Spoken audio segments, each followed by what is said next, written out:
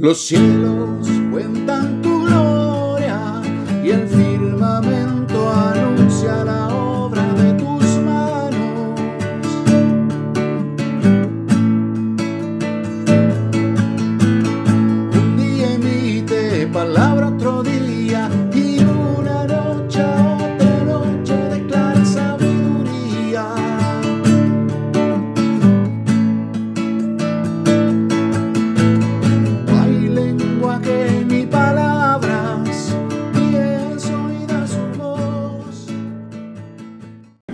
15 días ah, tocamos un tema y hoy me gustaría darle una continuidad a ese tema. Eh, es un tema muy, muy importante, muy interesante. Eh, necesitamos nosotros comprender de qué se trata. En muchas ocasiones nos hacen preguntas al respecto y, y como que no estamos muy seguros de qué responder como que mm, decimos un poquito de nuestro corazón, un poquito de, de nuestro raciocinio, un poquito de la palabra de Dios. Así que yo quiero que sigamos con ese, con ese tema, con esa enseñanza, que es una enseñanza de la ley, a propósito, porque eh, recuerden que hace ya bastante tiempo el Señor puso en nuestros corazones enseñar la ley de Dios, enseñar la ley de Dios. Entonces estamos en eso, enseñando la ley de Dios. Entonces yo quiero darle continuidad al tema. Un tema muy interesante, muy interesante, muy, muy, bueno, como todos los temas ¿no? que tratamos aquí, que los pastores tratan, un tema muy bíblico, eh, de mucha inquietud, de, mu- de mucha, eh, muy actual, como toda la palabra de Dios, ¿no? Porque uno piensa que la palabra de Dios es algo creado y hecho para allá, hace, no sé, dos mil años y que se quedó ahí. No, es, la palabra de Dios es, es muy actual, ella es viva y eficaz. Ella es, el Señor es el mismo ayer, hoy y por los siglos. Entonces quiero que hablemos un poquito de eso. ¿Quién, quién, quién sabe un poquito acerca de, qué nos puede decir qué es, qué es el divorcio? A ver, ¿qué es el divorcio? A ver, ¿quién, quién me quiere aportar algo? Mi hermana. es la separación de dos personas que han conocido Dios, están para Uy, qué interesante eso, mi hermana. Ah, qué interesante eso que su merced acaba de decir. Eh, es la separación ah, de dos personas que, ¿qué? ¿Qué, qué dijimos? Que han prometido. Vea qué interesante eso. Gracias, mi hermano. Gracias. Vea que por ahí, por ahí, qué interesante empezar el tema. Han prometido. ¿Cuántos de nosotros le hemos prometido al Señor muchas cosas? ¿Cierto? ¿Cuántos dijimos muchas cosas cuando nos casábamos? ¿Cuántos? ¿Cuántos hicimos promesas cuando nos casamos? Los que son casados, ¿no? ¿Cuántos hicieron promesas? ¿Cuántos hicimos promesas? ¿Y qué dijimos en las promesas? A ver, ¿qué dijimos en las promesas? ¿Alguien que recuerda una de las promesas que, que hicimos? Eh, a ver, voy a preguntarle a los matrimonios. Pastor, ¿qué promesa hizo su mesa cuando se casó? Querer a la esposa en las buenas y en las malas. Hasta que la muerte los separe. Uh, interesante. Interesante. Mi hermano Raúl, ¿qué le dijo a su esposa? Amarla y respetarla. ¿Hasta cuándo? Como siempre. Por siempre, pastor. Pues, eh, ¿Qué, qué, qué prometió, pastor?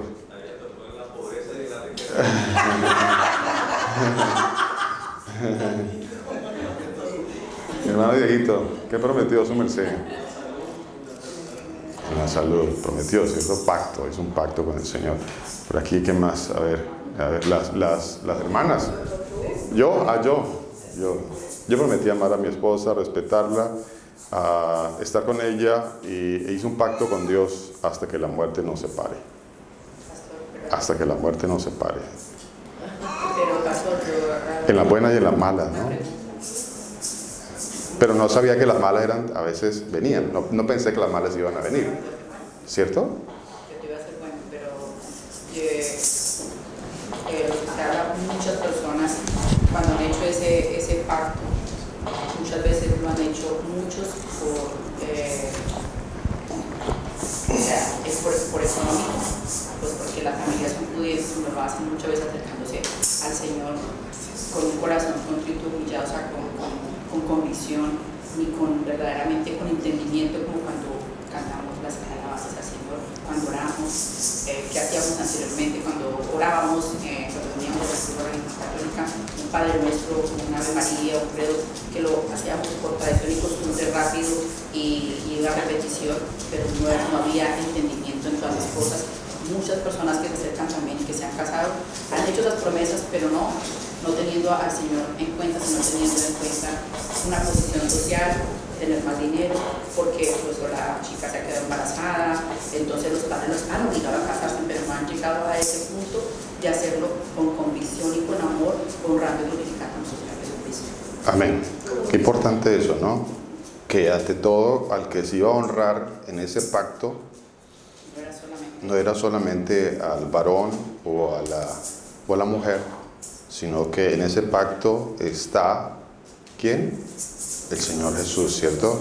Se nos olvidó eso. A muchos se nos olvida eso.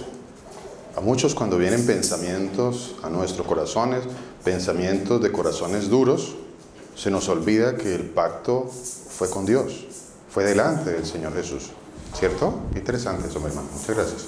Muy, muy valioso eso que su acaba de decir. Bueno, ¿y las, las damas qué dicen? ¿Qué prometieron? ¿Qué prometieron?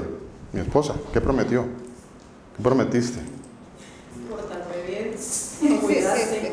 Yo me acuerdo que ese día me dio risa porque, porque dije que te iba a cuidar, que te iba a respetar, que te iba a amar mucho. Y acá estoy 30 años después todavía. 30 años.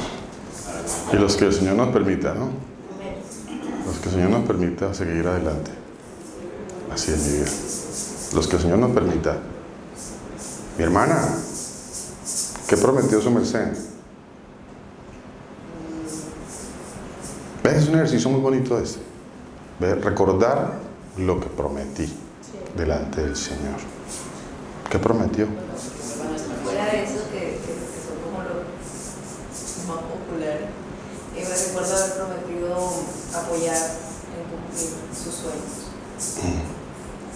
Ser ayuda idónea, ¿no? Eso es, eso es una parte de la ayuda idónea, ¿no? Ayudar al esposo o a la esposa, ¿no? En ese caso la esposa ayuda al esposo a salir adelante, cumplir con sus metas, sus ideales.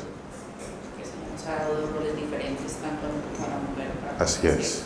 Puedan Así es, así es, mi hermana. No es que me ha hecho la mujer más empoderada del mundo, me hace lo que yo lo que hace el hombre, no, se me da un rol de mujer, de figura idónea, de una de mujer, madre, protectora, y al hombre también, o sea, que hay otro rol diferente. Amén. Amén, así es, hermano. Así es, totalmente.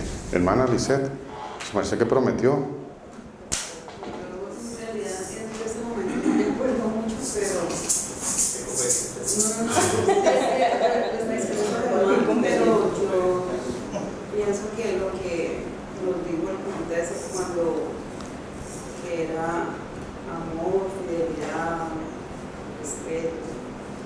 Pero lo importante no fue lo que yo prometí en el momento, sino recordar ahora y lo que el Señor me manda que para mí es más importante ahora que vi que lo que en ese momento hice de ignorancia, porque no sabía nada, lo hice porque todo el mundo lo hacía, y ahora lo conozco y, y sé que es un mandamiento del Señor, que tengo que respetar a mi esposo, Así es. que ser obediente, tengo que ser amorosa con y no hasta que yo quiera, sino que hasta que el Señor decida cuál de los dos vaya a su presencia y en ese momento termine nuestro pacto.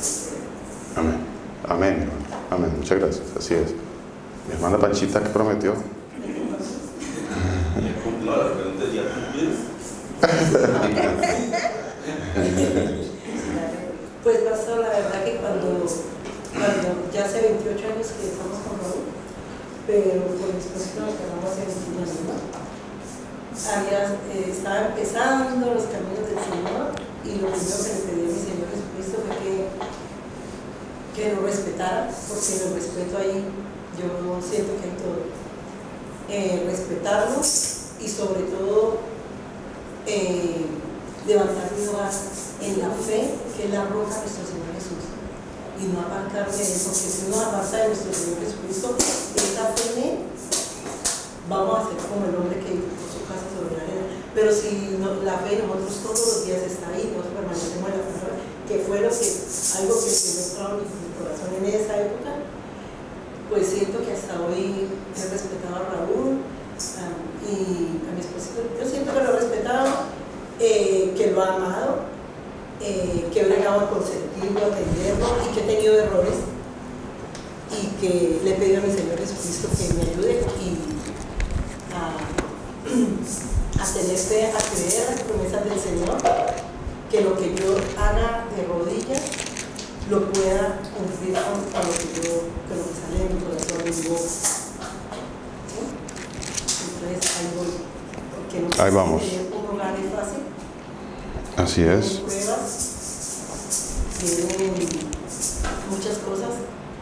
Entonces, para la gloria y la honra de Jesucristo es el que nos ha tenido acá y es el que nos ha fortalecido. Y por él es que estamos hasta acá y levantando una familia para el Señor, como dice Malaquías 2, que el Señor espera de nosotros, la generación.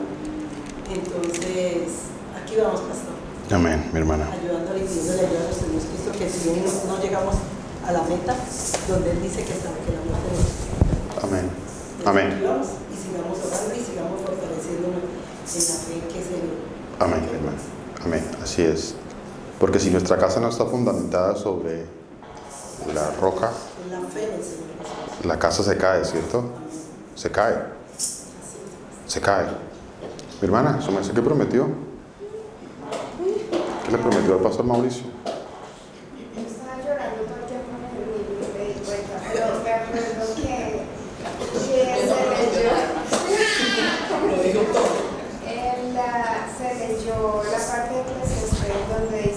Donde el dobleces no se rompe fácilmente y se hacía un, como el entendimiento de que el Señor Jesús debería ser la base y la prioridad del matrimonio y así a funcionar. Y pues ya después de todos estos años veo que, que para la gloria de Él se ha cumplido y es así. De que cuando uno pone al Señor como la cabeza en el hogar, pues funciona. Sin Él, apartado de nada podemos hacer. Amén, hermana. Amén. Amén. Vea qué bonito todas esas promesas. Muy bonitas las promesas que hicimos. Leamos estos pasajes de la palabra de Dios. A ver, ¿quién me ayuda leyendo esos pasajes? Vamos a empezar por ahí. ¿Cómo se llama el tema? Dios aborrece el divorcio. Dios aborrece el divorcio, ¿cierto? Entonces vamos a empezar por ahí. Vamos a empezar por aquí, por esta parte. A ver, ¿quién tiene Gálatas 3.15? Amén. Dice la palabra de nuestro Señor Jesús en Gálatas 3:15. Hermano, hermanos, hablo en términos humanos. Un pacto, aunque sea de hombre, una vez ratificado, nadie lo invalida ni le añade. A ver. ¿Cuántos sabemos y entendemos que el matrimonio es un pacto? ¿Cierto? Es un pacto. ¿Sí? Es un pacto. Ya hemos dicho cosas importantes como que es un pacto con un hombre, pero es un pacto con, el Señor, ¿cierto? Entonces, eh, ¿qué, dice, ¿qué dice Gálatas 3.15? Dice, hablo en términos humanos, para que sea claro para nosotros, ¿cierto? Y esto, esto es importante que los, los jóvenes entendamos, eh, cada uno de nosotros y los que no están casados, entendamos esta parte. Mira, hay que edificar. Lo que pasa es que como que no nos enseñaron todo esto cuando nos fuimos a casar, ¿cierto? Como que no nos dijeron esto, como que nos faltó esta partecita. Pero que, bueno, Señor, este, este es el momento que nos lo está diciendo, por algo el Señor nos lo está diciendo, y a los jóvenes, pues, importante que lo escuchemos muy bien, escuchemos muy bien, porque si el Señor lo permite, pues ustedes tendrán esposo o esposa. Eso es importante. Gálatas 3.15 dice así, dice, hermanos, hablo en términos humanos, un pacto, aunque sea de hombre, no, es que a mí, pues, eh, yo, es que yo me casé por la iglesia católica. Pues, no, es que yo me casé por la iglesia católica, de allá no, no valía. Ah, ¿no valía? ¿No vale? Sí vale. Por supuesto que vale. Vale, total, tiene total validez. Porque es que el matrimonio no lo inventó la iglesia católica, en primer lugar. El matrimonio es una institución que la estableció el Señor desde el principio. No es propia de ninguna religión. Cuando un hombre se une a una mujer, es- eso es una institución creada por Dios, eso es el matrimonio. No es propia de ninguna religión, de ninguna religión. Entonces, un pacto, aunque sea de hombre, dice, una vez ratificado, nadie lo invalida ni le añade. Entonces, eh, yo creo que el versículo como tal es claro, ¿cierto? A ver, nadie le puede ni quitar ni invalidar. No, es que ya no es válido. No, sí es válido. Sí es válido. Es válido delante del Señor, sí es válido. A ver, sigamos. Números 32. Pastor, quiero decir algo ahí también, dice, pues, vamos hablando siempre conforme a la palabra. Y dice, si no puedo serle fiel a mi esposo o a mi esposa, ¿cómo voy a serle fiel al Señor? Y cómo, no, cómo dice el Señor, si no amas a tu hermano a quien ves, ¿cómo puedes amarme a mí si no me has visto? Claro, Entonces, claro. Total, total. Aquí dice números 30. Números 32. Habló Moisés a los príncipes de las tribus de los hijos de Israel diciendo, esto es lo que el Señor Jesús ha mandado. Cuando alguno hiciere voto al Señor e hiciere juramento ligando su alma con obligación, no quebrantará su palabra. Hará conforme a todo lo que salió de su boca. ¿Conforme a cuánto? Todo. Todo lo que salió de su boca. Así es. Así es, hermana. Hará conforme a todo lo que salió de su boca. Esto no es cosa, esto no es cosa vana. Esto no es así de, de- de rapidez. No. Deuteronomio capítulo 23, versículo 21. Porque cuando llegamos acá, nosotros siempre pensamos que el matrimonio católico no nos valía. Pero abuelo por eso digo, casémonos de nuevo, porque nos casamos por, por lo católico. Y un primo de él aún le dice, Raúl, usted no está casado. Usted se casó por una iglesia que no es válida. Yo le digo, no, el matrimonio no. ¿Qué, qué, ahí salta la pregunta, nos salta pregunta bastante interesante, ¿no? Eh, ¿Cuál congregación casó a Adán y Eva? O sea, para irnos bien atrás, para que nadie diga que es que, no, que tal congregación. Bueno, ¿Cuál congregación casó a Adán y a Eva? O Ahí Caín, está. su esposa. O- ¿Cuál congregación? ¿Cuál congregación religiosa los casó? el compromiso no es con una, congregación religiosa ni con una... el compromiso es con el Señor, El compromiso es con el Señor. El pacto lo está diciendo la palabra de Dios acá, que es con quién? con nuestro Señor. con el Señor. Dice, cuando haces voto al Señor tu Dios, ¿cierto? El voto, el pacto matrimonial es al Señor tu Dios. Dice, cuando haces voto al Señor tu Dios, no tardes en pagarlo. Ah, perdón, me estoy adelantando, ¿no? Este es Deuteronomio 23. ¿Quién tiene Deuteronomio 23? Mi hermano, por favor. Cuando haces voto al Señor tu Dios, no tardes en pagar, porque ciertamente lo demandará el Señor tu Dios de ti sería pecado en ti. Mas cuando te abstengas de prometer, no habrá en ti pecado. Pero lo que hubiere salido de tus labios, lo guardarás y lo cumplirás conforme lo prometiste al Señor tu Dios, pagando la ofrenda voluntaria que prometiste con tu boca. A ver, a ver, ¿quién tiene preguntas con respecto a estos pasajes, a este pasaje? ¿A- ¿Alguna pregunta? ¿Duda? Cuando haces voto al Señor tu Dios, no tardes en pagarlo, porque ciertamente lo demandará el Señor Jesús tu Dios de ti. ¿Y sería qué? Pecado en ti, dice la palabra de Dios. Sería pecado en ti. Mas cuando te abstengas de prometer, no habrá en ti pecado. Pero lo que hubiere salido de dónde? De tus labios. Dice, lo que hubiere salido de tus labios, lo guardarás. ¿Y qué? ¿Qué dice ahí? Y lo cumplirás. ¿Cierto? Lo que salió de mis labios, dice, lo guardarás y lo cumplirás. Y lo cumplirás. Conforme, conforme qué? Conforme lo prometiste al Señor tu Dios. De esa forma. Esto es importante. Muchachos, presten atención. Presten atención, no se me distraigan, porque esto, esto va para ustedes. Esto va para, para cada uno de nosotros.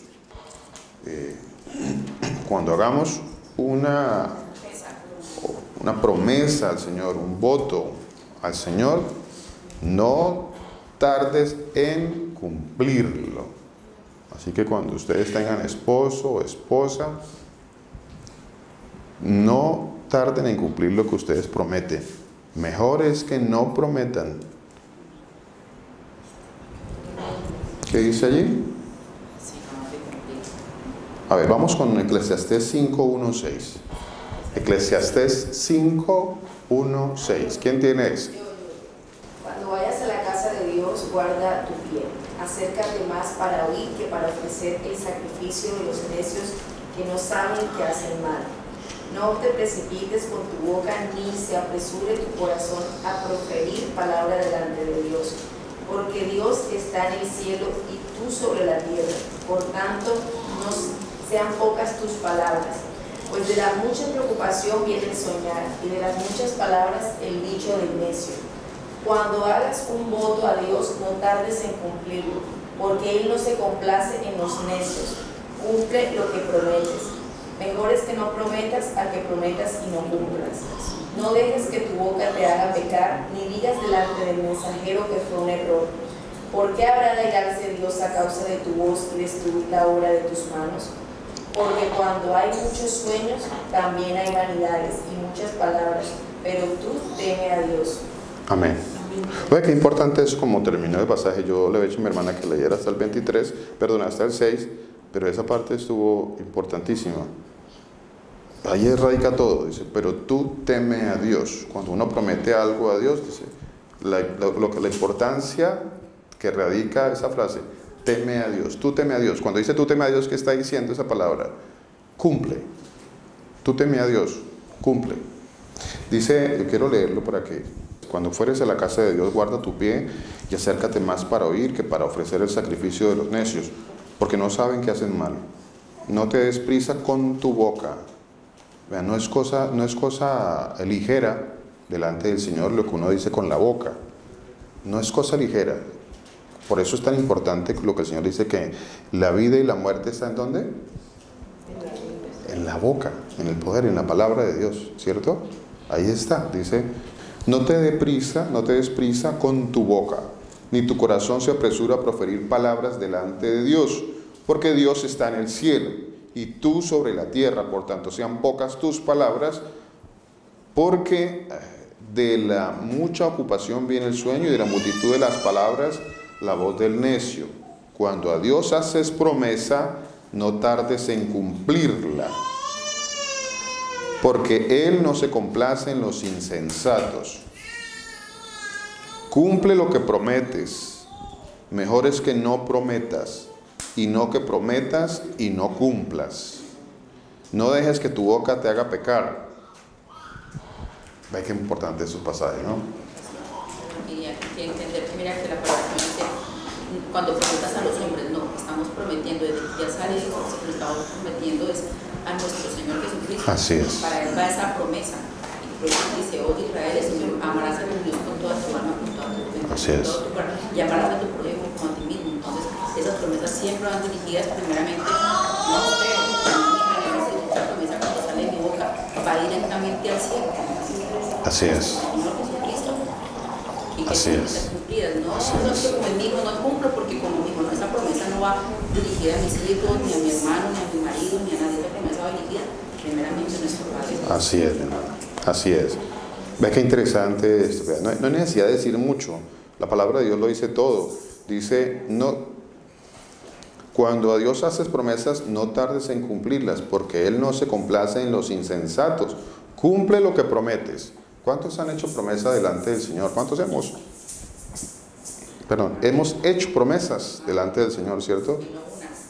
Y en muchas ocasiones, ¿cierto? Hemos hecho promesas delante del Señor. No, si yo voy a cambiar, Señor, si tú me haces esto, me das esto, me quitas esto, yo haré, no haré, eh, cambiaré, no cambiaré. Bueno, uno dice muchas cosas. ¿Y qué dice el Señor? Cumple lo que prometes y no seas un insensato. Importante uno, eh, cómo medir las palabras. Importante, importante medir lo que uno dice. Es importante. Eh, ¿Qué voy a decir yo con mi boca? No es cualquier cosa, vuelvo y les digo mis hermanos, no es cosa ligera delante del Señor lo que yo profiera con mi boca. O sea, el Señor no lo toma que, ah, no, yo sabía que estabas eh, molestando. Ah, claro, no, yo sé que estabas eh, jugando. Eh, ah, ah, claro, no, me imaginé que era que tú estabas haciendo una broma. No, no es así, mis hermanos, no es así. Cosas que ya no deben salir de nuestra boca. No deben salir porque delante del Señor lo que yo diga con mi boca, Él lo toma 100%. 100%. Por ejemplo, vamos a hacer un ejemplo. Es que eh, yo adoro o es mi adoración, eh, mi hija es mi adoración. A ver, ¿está bien? Hablando de las palabras que salen de nuestra boca, ¿no? Que para el Señor no son cosa ligera, que cuando yo digo, es que mi hija yo la adoro, eh, y entonces eh, la palabra adorar tiene una connotación, tiene una connotación, tiene un significado. Las palabras tienen un significado. No, que es que para mí no significa eso. Pues puede que para ti no signifique eso, pero esa palabra para Dios sí significa eso. O sea, no se juega con el Señor. Sí tienen un significado las palabras. A ver, la adoración es un acto que es únicamente para quién. ¿Quién es el Señor dice, al Señor tu Dios adorarás y solo a Él. ¿Cierto? Entonces, eh, hay cuántas cosas que uno hace en ignorancia, en ignorancia, total ignorancia. Pero es que nosotros tenemos que crecer en todo sentido, en nuestra manera de hablar, en sabiduría, en lo que escuchamos, lo que vemos. Y cuando yo hablo, de mi boca tienen que cada día salir más palabras de sabiduría, de entendimiento. El que habla, hable conforme a la palabra de Dios, ¿cierto? Mi hermana también tiene ese pasaje. Bueno, Dice la palabra del Señor, pero sobre todo, hermanos míos, no juren ni por el cielo, ni por la tierra, ni por ningún otro juramento. Más bien sea su sí, sí, y su no, no, para que no caigan bajo condenación.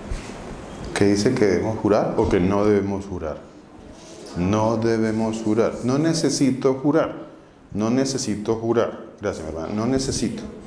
Porque es que a veces, no, es que si yo no le juro, él no me va a creer. Bueno, pues ahí, ahí algo está pasando. Si la persona no me está creyendo, entonces creo que tengo un problema yo porque no, no estoy siendo sincero cuando he estado hablando y la gente me está teniendo por una persona que no, no dice las cosas sinceramente. Entonces estoy fallando yo, ¿cierto? Algo está pasando.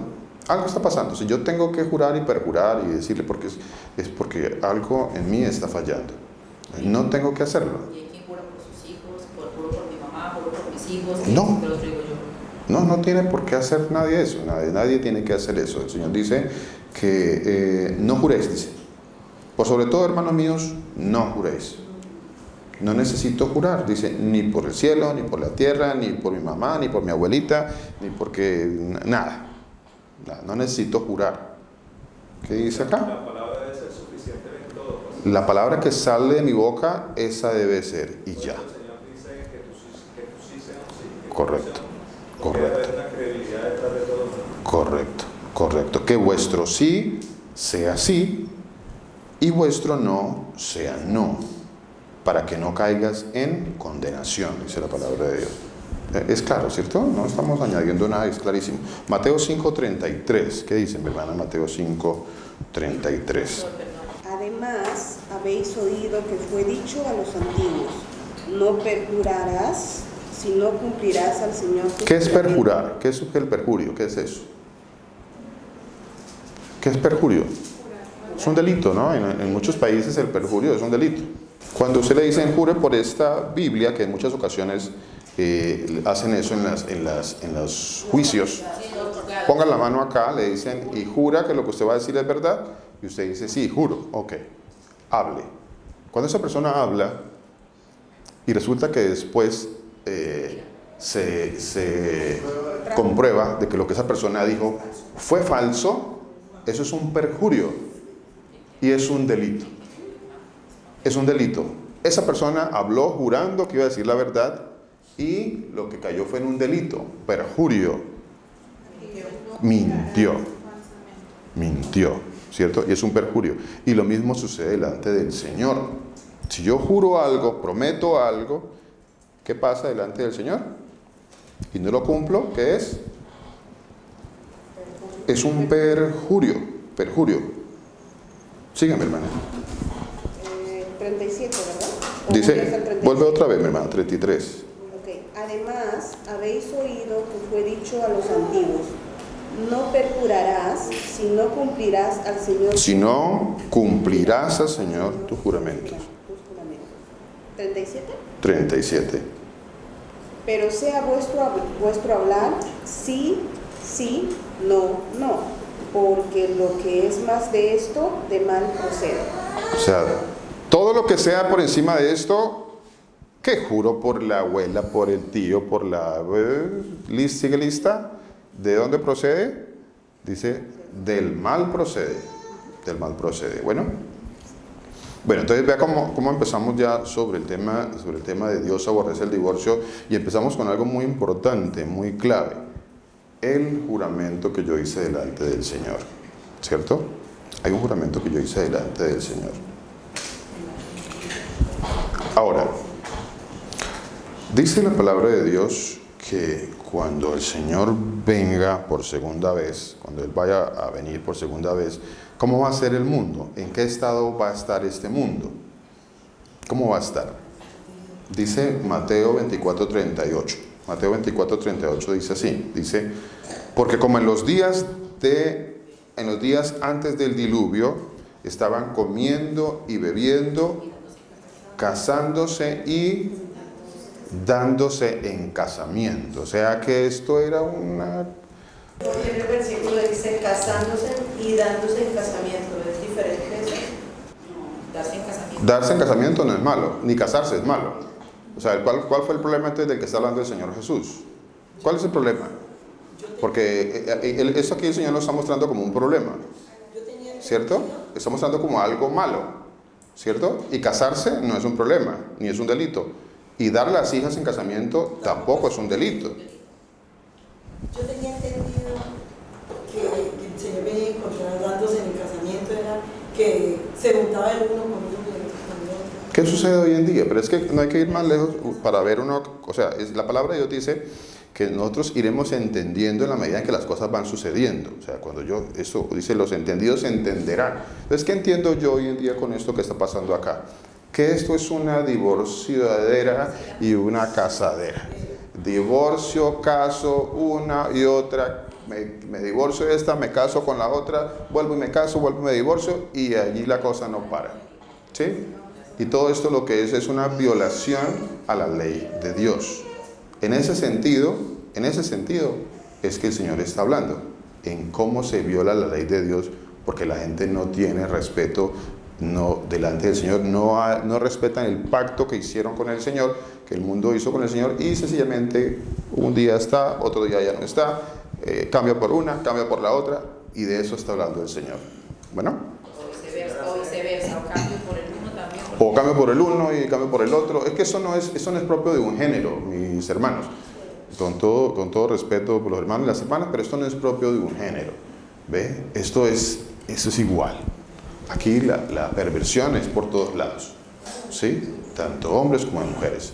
Yo quiero, yo quiero ir a un punto que tocó ahorita el pastor Germán y es el yugo desigual. Yugo desigual. Dentro del divorcio. Yugo desigual. ¿Qué pasa con el yugo desigual? Mm, usualmente uno dice, no, pues yo, yo me caso con él, pues somos, usamos mucho esta frase, miren mis hermanos, eh, es que nosotros somos polos opuestos, somos polos opuestos, ¿cierto? Usamos mucho esa frase. Y los polos opuestos, eh, Eh, bueno, solamente en los imanes, ¿sí? Pero no en la palabra de Dios. No es en la palabra de Dios. Eso aplica con los imanes, pero no aplica con la palabra de Dios. La palabra de Dios dice otra cosa diferente. Así que hay que tener mucho cuidado con eso. La palabra de Dios dice, andarán dos juntos si no estuvieran de acuerdo. Eso sí dice la palabra de Dios. ¿Cierto? A ver, pero ¿y ahí yo aplico los, los- los polos opuestos de los imanes? No, no puedo, no puedo aplicar eso. La palabra de Dios dice otra cosa.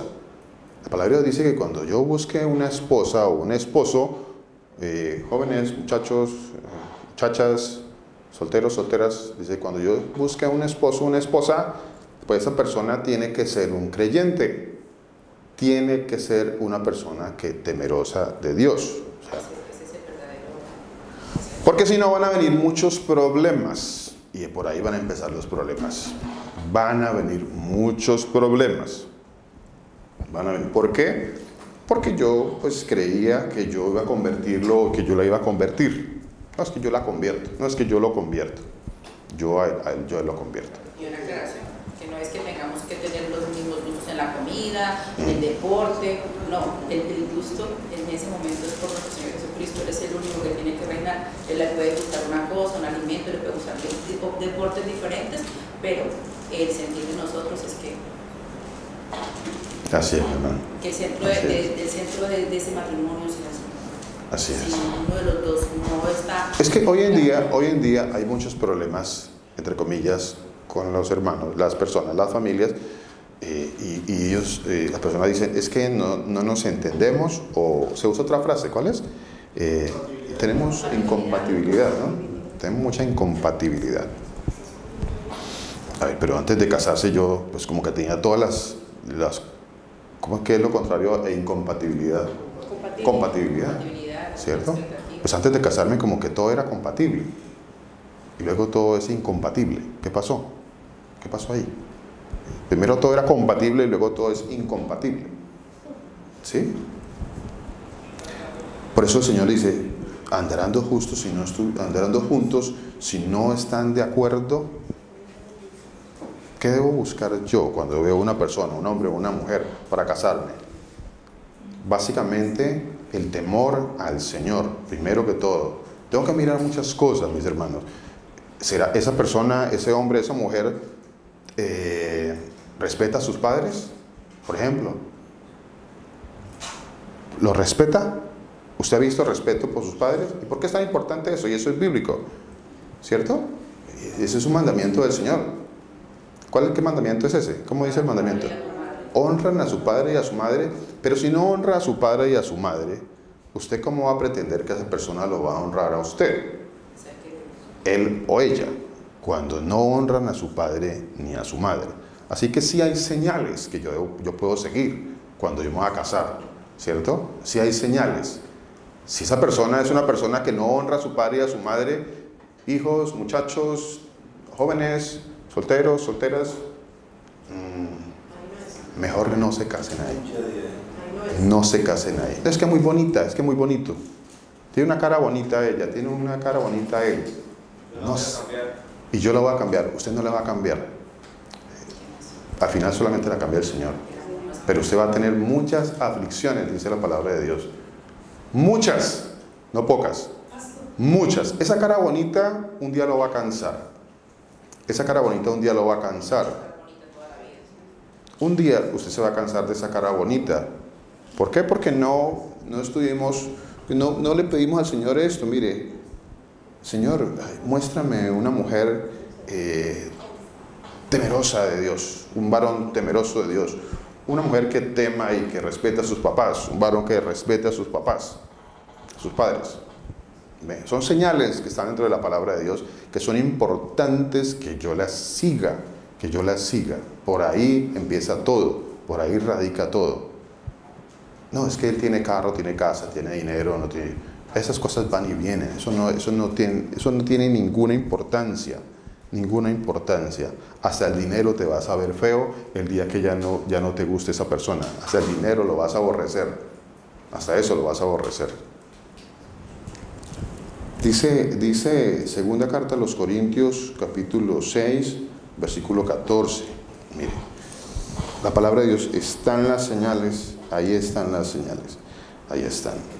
Dice, no os unáis en yugo desigual con, ¿quién es?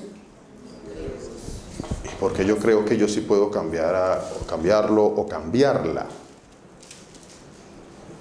No, yo sí lo voy a cambiar. Es que yo a ella, no, yo la cambio. No, no, no, no la vas a cambiar.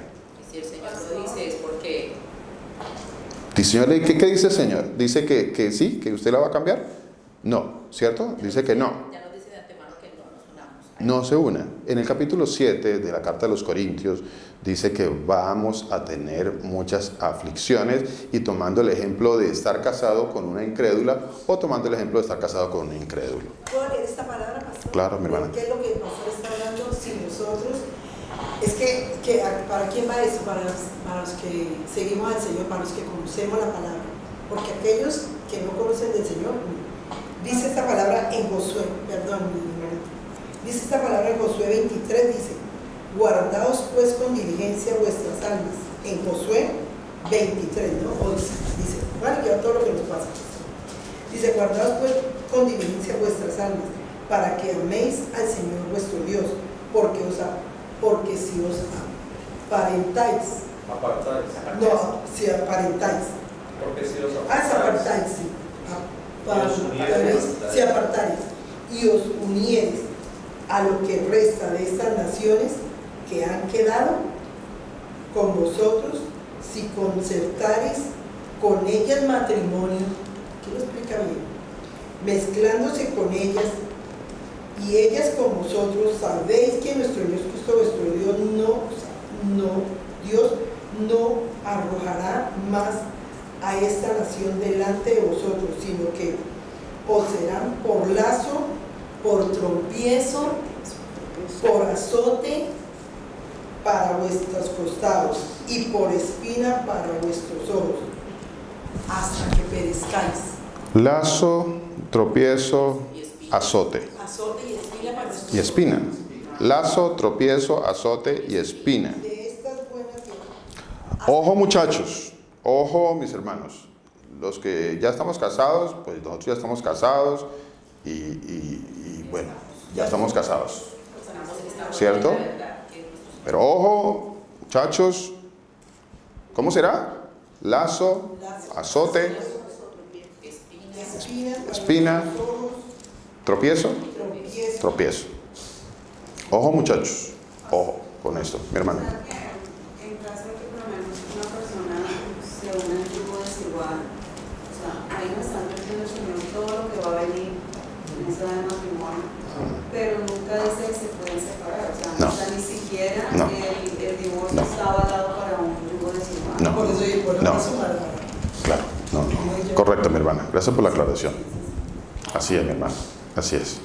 Gracias por la aclaración. Así es. Ni siquiera eso está avalado en la palabra de Dios. Ni siquiera eso. Ya vamos para allá.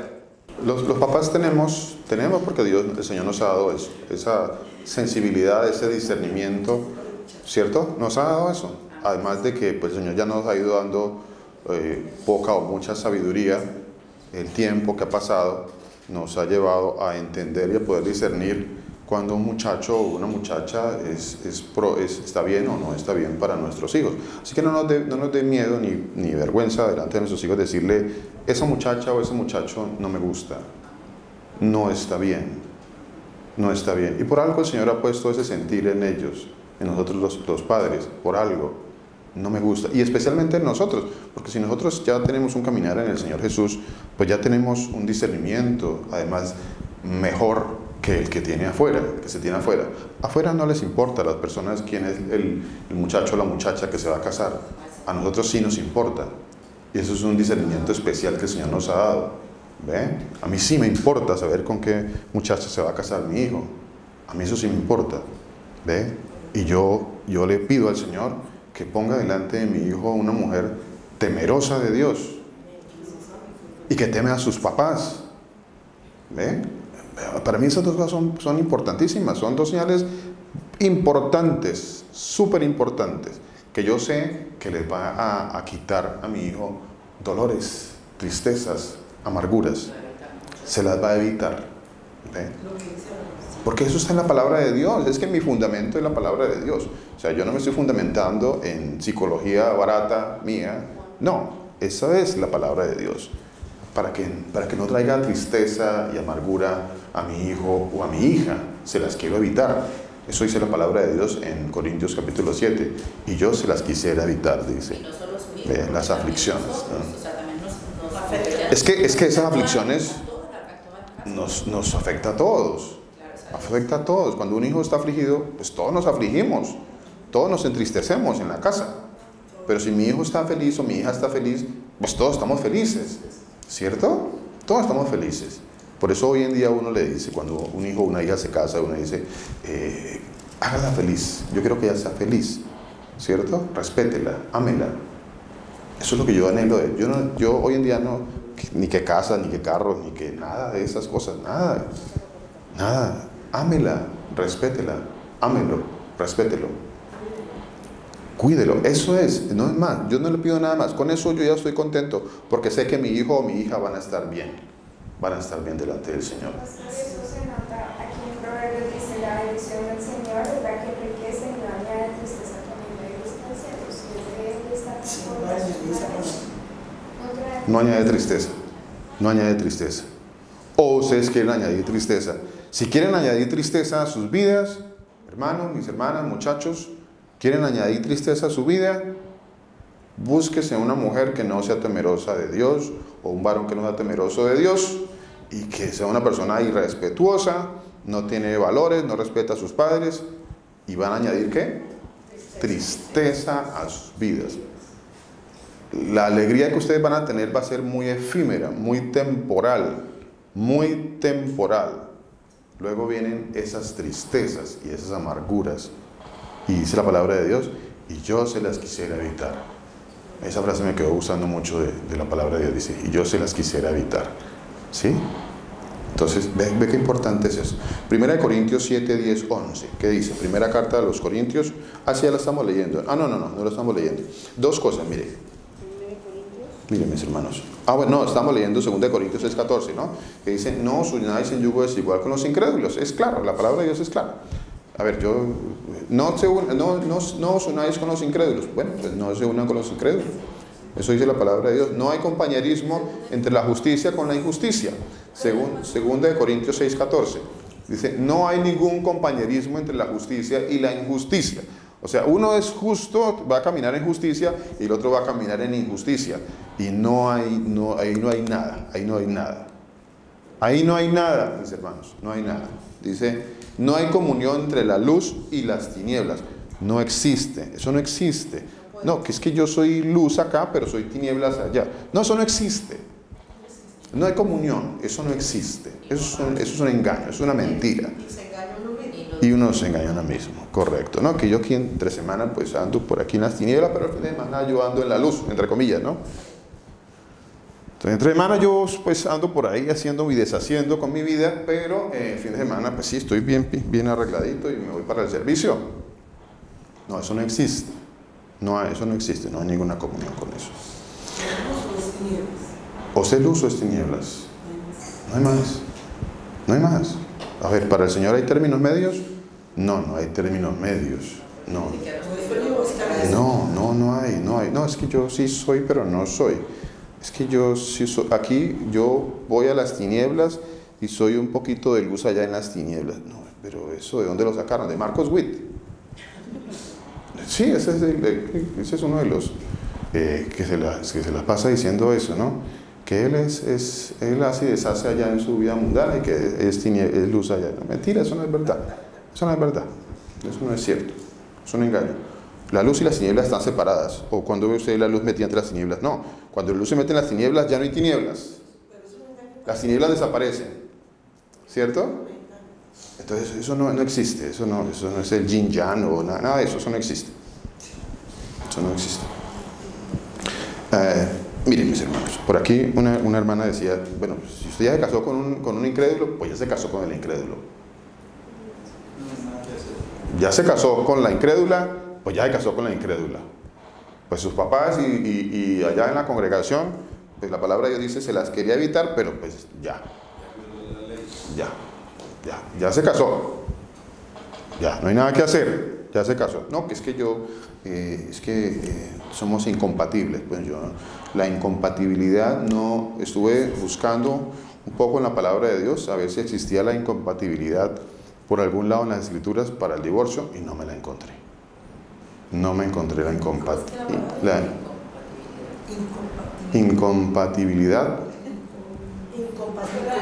no la encontré. Es eso, corazón duro. ¿Sí? Es eso, corazón duro. Sí, gracias, mi hermano. Es eso.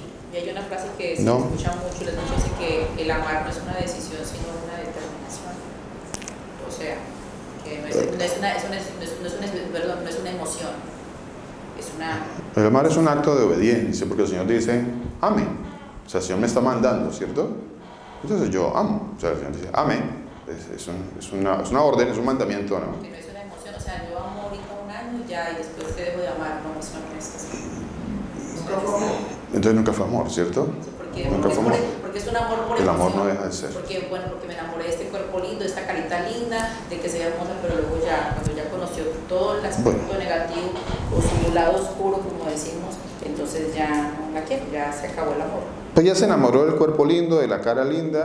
De su dinero, de su bolsillo, de su carro, de todo. Bueno, ya se casó. Hoy en día las- los jóvenes se van a vivir antes de eso para ver si el, o sea, es como el prepaso a casar.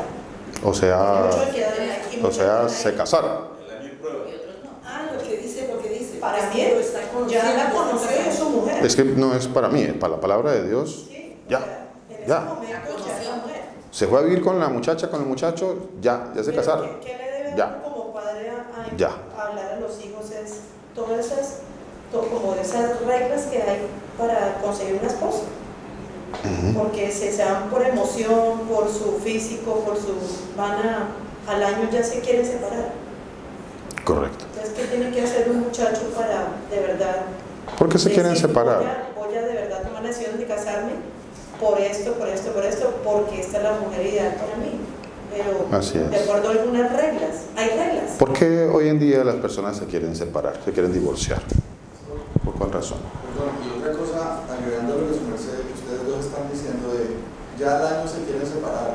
Y de pronto el problema es que no se sabe la trascendencia que tiene eso de quererse separar.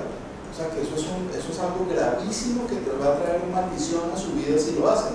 ¿sí? El problema es que no se casa siendo, siendo consciente de que no me puedo separar y que de otra forma donde me separe pues va a generar mucha maldición a vida. Así Entonces, es. por eso, por eso se separan, porque no entienden lo que están, no, no entienden lo que está haciendo. Correcto. Por eso es que se casan, casándose, otra vez se casan. Porque eso es casarse. Si una persona se va a vivir con otra, pues si se fue a vivir con ella, pues ya se casó con esa persona.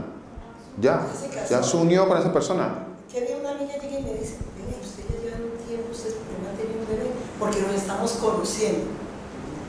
O sea, nos tenemos que dar un tiempo que es que nos estamos conociendo y pues si no nos entendemos, pues, Pues cada uno por su lado. le dije, así dice la palabra, amiga, digamos a la palabra. Mm. Mira lo que dice la palabra. Si no me puede separar de su No. esposo. No, Mira lo que dice la palabra. no. Hay que, hay que decirle a, las- a los jóvenes que el, el hecho de, de tomar una mujer y llevársela ya a su lecho, ya es su mujer. Ya está siendo la, su mujer, ya está haciéndolo su marido. No ha tenido su ceremonia con su vestido, pero ya es su mujer. Ya, la palabra dice que ya la está haciendo su mujer y ya lo está haciendo su marido. Y dice que, eso dice la palabra de Dios, ¿no? ¿Sí? ¿Sí? Sí, eso dice, ¿no? No estamos inventando nada. Lo que pa- en Génesis, ¿qué dice, pastor? Génesis 2. Se unirá a su mujer y serán una sola carne. Así es. Así es. yo sé que nosotros cometimos muchos errores en el pasado. Pero por ejemplo lo que que el hecho de llevársela al lecho, o sea, pero eso está bien, llevársela al lecho sin casarse antes. Bueno, eh, el- el- la, la- la pregunta tal vez de mi, de mi hermano es, y ahí, ahí vendría como la pregunta de, ¿debe haber una ceremonia? ¿Cierto?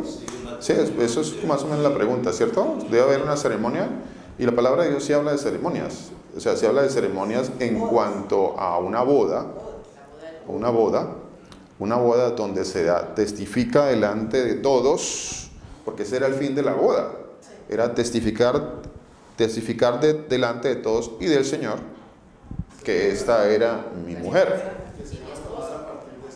Correcto. Eso era. Básicamente es eso. Es compartirle a los demás, les presento a mi mujer delante del Señor, esta va a ser mi mujer, mi esposa. Eso es una boda. ¿Sí? Eso es una boda. Eh, básicamente es eso, ¿no? ¿no? Pero no es que la boda tiene que hacerla que el pastor, que el cura, que... Perdón, yo vi una vez un, una- un estudio que dio el pastor Germán, donde, eh, eh, o sea, cuando Isaac fue, conoció a Raquel, ¿no? ¿Es Raquel? Sí. Sí, señora. Y claro, y la venía, no la conocía, se la escogieron a él, fueron por ella para traérsela, la traía, y estaba la tienda, y estaban todos reunidos, y la traía de, de- de su padre, y se la entregó a él. Entraron, y dice, entró en la tienda y la conoció. Y la hizo La su mujer.